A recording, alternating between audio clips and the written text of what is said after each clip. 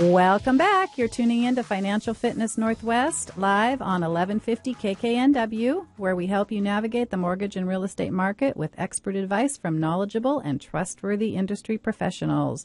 We are here with Tammy Lundin, who is a broker at RE/MAX Integrity and has been in the industry for over 21 years. Tammy is a wife, mother of four, and grandmother of three, with another one on the way. You're going to be one up on me, Tammy. uh, Tammy takes such amazing care of her clients that she enjoys a business built mainly on referrals from past clients, family, and friends, and she truly becomes their agent for life. Welcome, Tammy, to the show. Thank you so much for having me so much, Patricia and Sarah. I appreciate it. Oh, yeah, we're glad to have you. So, do you want to just kind of tell us a little bit about your business? Start off with, you know, sharing how you got into the business and what your focus is. Yes, for sure. I uh, wanted a career that would uh, be flexible for my family, and I always had a passion for real estate growing up with a father that was a builder in commercial and uh, residential.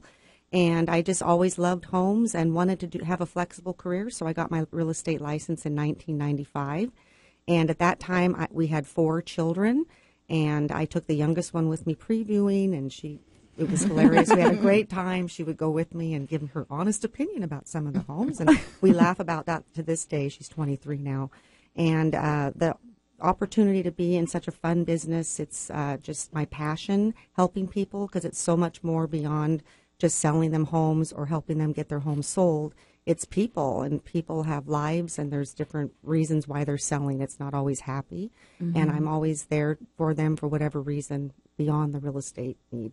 yeah, I mean, you and your business, even you know, and us too. I mean, it's the same. It's really just so much about you get build these relationships with people, right? Yes, yeah. and I've been so blessed with a referral base that I have, and past clients and friends and family that remember me year after year. And sometimes I think, wow, I'm so blessed. And I mm. really feel that way because I don't always have to be scrambling and cold calling and different um, uncomfortable things like that. I have a great referral business that give me great leads. Yeah, well, I can attest to the fact that you take such amazing care of your clients, and, and so there's no doubt that they come back to you. I, I totally get that. So thank you so much. So um, I think you know, um, in your intro, we mess, um, we um, mentioned that you were went through this master negotiator class. Mm-hmm. So tell us a little bit about how that differentiates you and how that can come into play when you're representing your clients with this um, knowledge. Yes, thank you. Well, even though I am a seasoned realtor of 21 years, I found that the markets have changed dramatically. Oh, and yeah. It's like one year you can be everything's wonderful, and so you have to be able, as a realtor, to be open to uh, continuing your education. So when the MCNE uh, designation came out, I thought that's for me, and I really took care and pride. It's a series of three courses that you take, and then um, it's great information on helping you with sellers and buyers as far as presenting and writing the best offer for each situation. Because you can have two houses on the same block same floor plan, but much different situation depending on the seller and the buyer's needs. So it's just a really great course of study. And again, I wanted to continue my education and not just get stagnant in the business because it's an ever changing market and business every day. Isn't oh, that true? Yeah. Wow. Wow. yes, that's an understatement. So do you are you split then? Do you work with buyers um, and sellers pretty much half and half, or are you you know geared more towards buyers?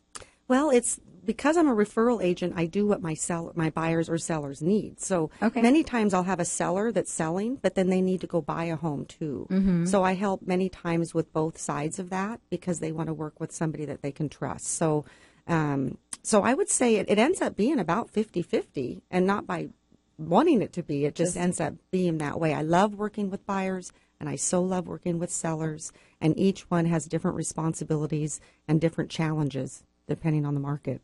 Right. Well, so you know, I, I, do you often work with investors then, or as well, or? Yes, in fact, um, I do uh, love to work with investors, and I, one of my past clients, she's doing a 1031 tax exchange, and that's a great way for an investor to uh, basically swap investment properties and defer the tax hit that it would be. Right. Yeah. Can you elaborate a little bit on that? I I just actually had someone call about um, a 1031 exchange as well. Um, and I don't think you know people don't really know at all what that is. And since sure. you're going through it right now, do you want to share how that works for the the client? Well, it's basically a benefits are. like kind transfer, meaning it has to be held as an investment over here and then buy another investment over here. And so it can be a condo to a house, a house to a condo. Um, it can be any kind of real estate held in, as an investment. And basically, you put the money into a tax. Uh, we have a facilitator, a 1031 tax exchange facilitator. So at escrow, we'll transfer that money to the facilitator and hold it until you purchase another property. And it's very time sensitive.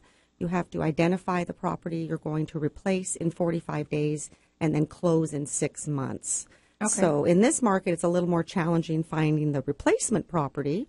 Um, Yeah. It takes a little bit more time, but but as long as you're on it, it's great. So it's a great way for an investor if they want to um, change it up. Like for instance, one they're wanting to not have a one bedroom unit anymore, so they're exchanging that for a two bedroom unit. Again, it doesn't matter because it's held as investment. So it doesn't that doesn't have to be necessarily a like property. It just has to be an investment property, and it Correct. could switch to any type of mm-hmm. dwelling. Then Yes, as long as it's held as an investment. It can't be a primary residence or second home. No, unfortunately. yeah, That'd be great. Avoid Right. taxes. I know. That would would no need for us. really we'd, we'd be out of business. Not good. That's funny.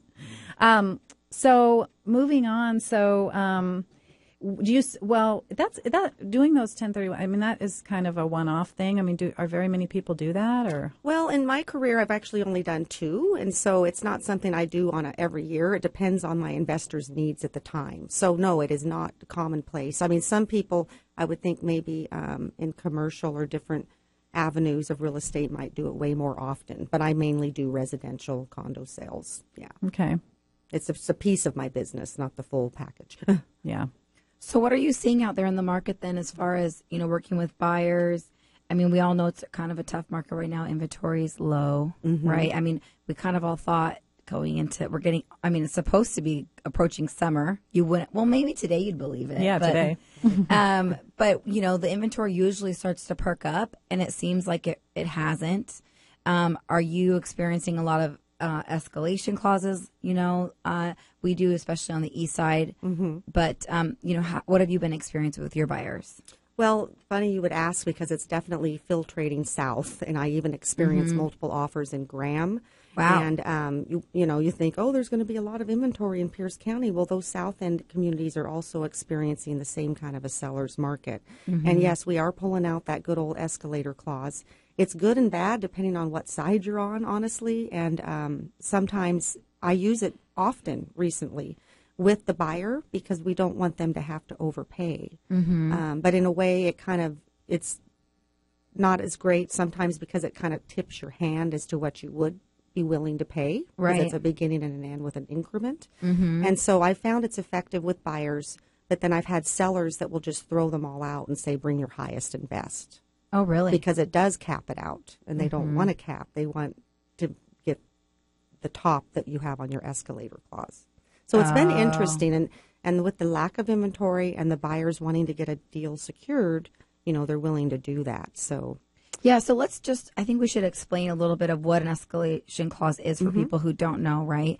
I mean, you're starting at, up, you're saying, I'm going to buy the house for 300000 mm-hmm. right? Up to 325 yes, in a certain increment. Right. So you're saying, I will pay, what, a $1,000 over the highest offer up to 325 Is that how yes, it works? that's how it works. But I found that middle number, that how many thousand you'll go above, is the kicker right now. It's not where you're getting to, but it's how many thousand you'll go above. they want to see a bigger So number, like 2500 above, Yes. 5000 above.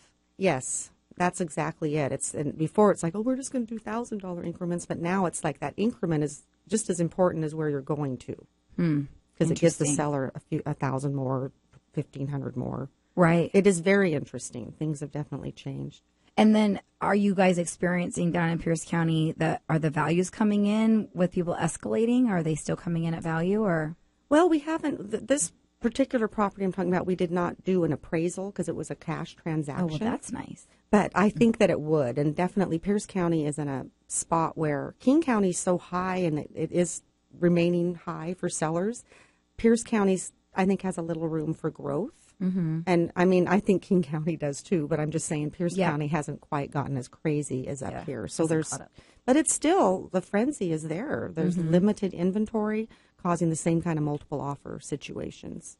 Right. Have you had any appraisal issues with these um, escalation clauses yet? Have you seen any issues with that?